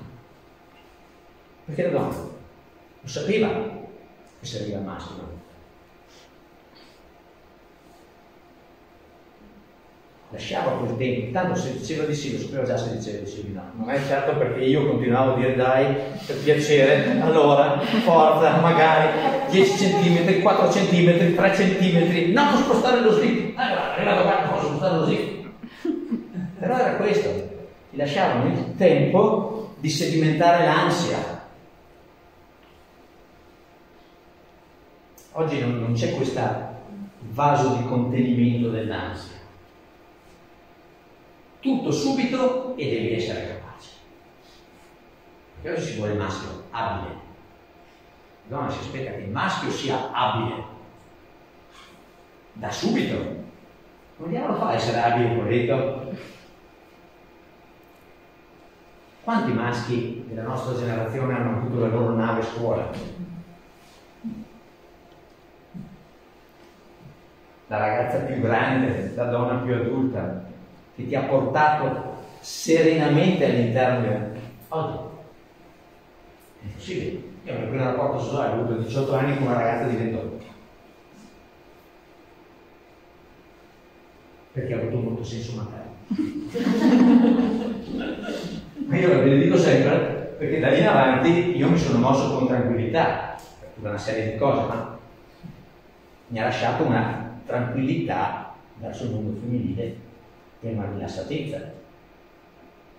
Ah, oggigiorno come diavolo fare? No, devi essere abile, bravo, bello. Se non mi fai raggiungere l'orgasmo, ti metto subito su internet, vale niente. Se non sei fisicato, palestrato, se non è qualche tatuaggio, qualche tatuaggetto, un piercing magari. Capite come per essere maschio oggi, nella fase di adolescenza, faticosissimo.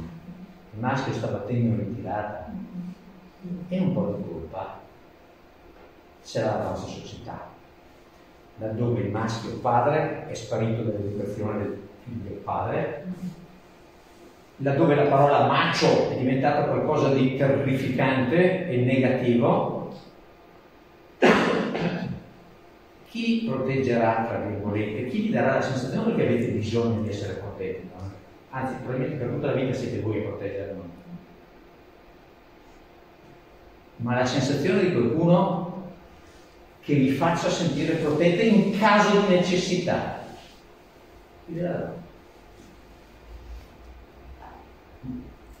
C'è un bellissimo libro in francese che dice che oggi il maschio perfetto è depilato, profumato, possibile abbronzato, con cremine di bellezza, cioè il maschio perfetto è una perfetta donna. L'educazione maschile passata attraverso il vaglio femminile, ma è così, è capitato alla donna, la donna insegna a essere donna, non può insegnare al maschio a fare maschio. Infatti, se vedete, c'è anche un'altra problematica. Guardate la differenza nelle classi dove ci sono degli extracomunitari di vario tipo, dei maschi extracomunitari rispetto ai nostri. Il maschio extracomunitario è allevato dal padre, che ha un ruolo maschile definito, un'identità maschile molto più definita del nostro.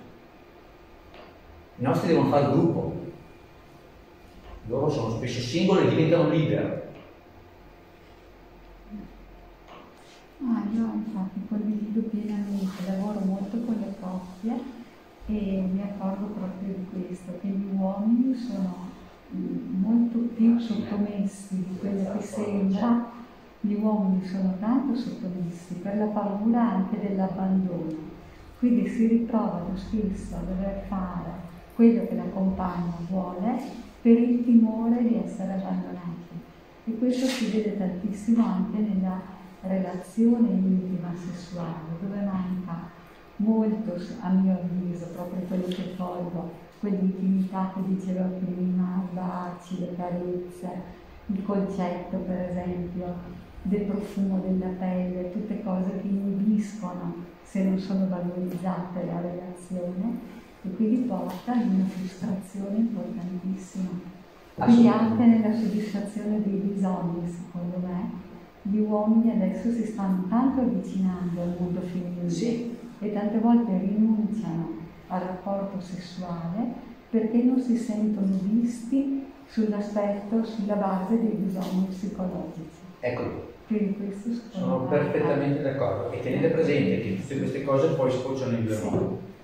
O nella depressione che Ah. prima era, era veramente 10 a 1 fra le donne e il maschio, e adesso il maschio sta salendo nella fase depressiva in maniera importante, o ahimè in tutte quelle cose che si chiamano violenza sulla donna, ma che spesso andrebbero indagate sul fatto che uno è arrivato a livello. Il maschio non ha la dialettica della donna. eh.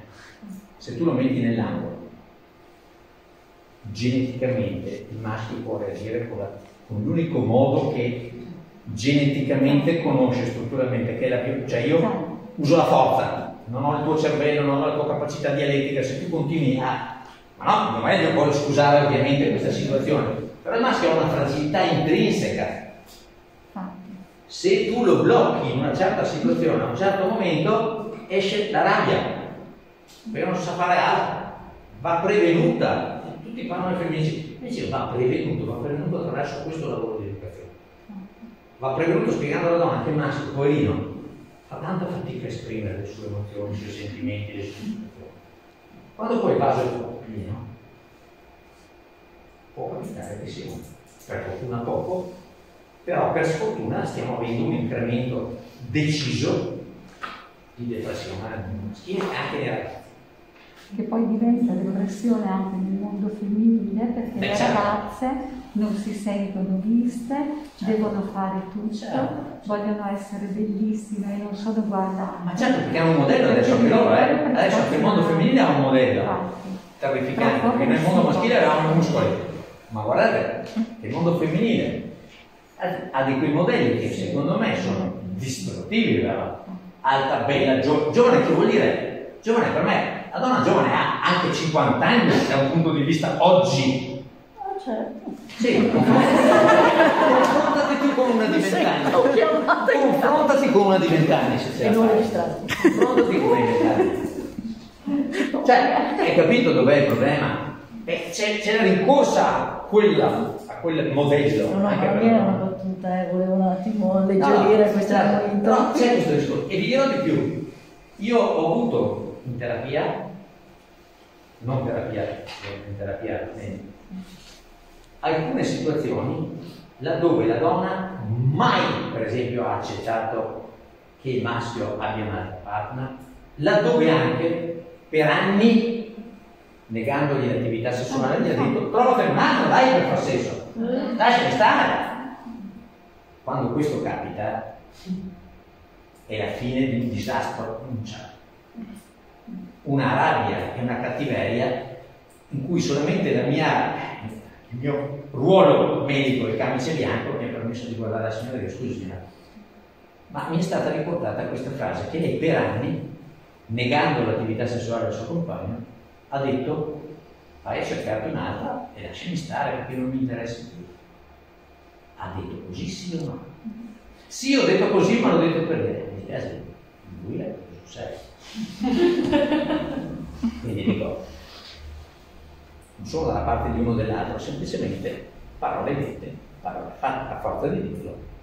Lei ha messo questo perché adesso lei è arrabbiata, scusa, ha obbe- le ha obbedito. Mentre, eh, certo, mentre dall'altra parte, sapete cosa ho visto io? Più di qualche uomo messo di fronte a questo dato. Io ti amo, però mi sono innamorata anche di un altro. Io non voglio perderti, ma non voglio perdere neanche lui. Sono corretta e te lo, e te lo dico. Però se proprio, proprio, proprio devo scegliere, vado via con lui. Io ho visto parecchie una parolona, però ho visto uomini accettare questa situazione e convivere con questa situazione a fronte di una modalità anche elegante del, del trattare una donna di solito è abbastanza elegante ma non ho mai visto una donna accettare questo se non in una situazione di grave interesse soggettivo personale ma non perché l'abbia accettato per non perdere l'uomo. Allora, allora io vorrei ringraziare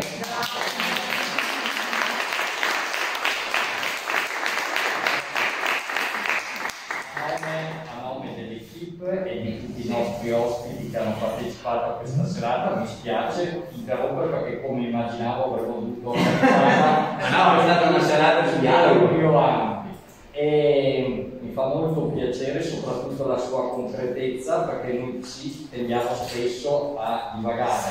Invece ecco, il dottor Pivello penso che ci abbia dato tanti stimoli molto concreti, una visione diversa che quella del medico che ci aiuta tantissimo a integrare la nostra preparazione. Ci saranno altre occasioni, spero che sia sempre disponibile. Magari invece raccogliete proprio qualcosa di specifico su cui potremmo anche confrontare, no? Qualcosa di alcune cose magari da, da affrontare in cui magari tu dai una- lettura e io posso dare un'altra lettura, anche per creare una convergenza ma a destra e ma a sinistra eh, si devono sempre aiutare da dove è possibile. E i nostri pazienti con un corretto invio, una corretta relazione, che se no accade sempre questo. Oh, farmaci, che roba bruttissima. Ah, psicoterapeuta. Oh! Ah, perché poi bellissimo il modo di invio di tanti miei colleghi. No? Vai, io non ho trovato niente, proviamo con lo psicoterapeuta. Guardi, io penso che il suo problema sia di origine psichica, deve andare dallo psicoterapeuta. Rassicurante. Oppure conosco uno psicoterapeuta che per la sua situazione che è così incasinata Hai capito? Questi invii cioè, vi mettono in una condizione invivibile, non vivibile. Questo è, è un problema nostro, lo affronto io con i miei colleghi. Un invio corretto non si fa. Va bene, grazie.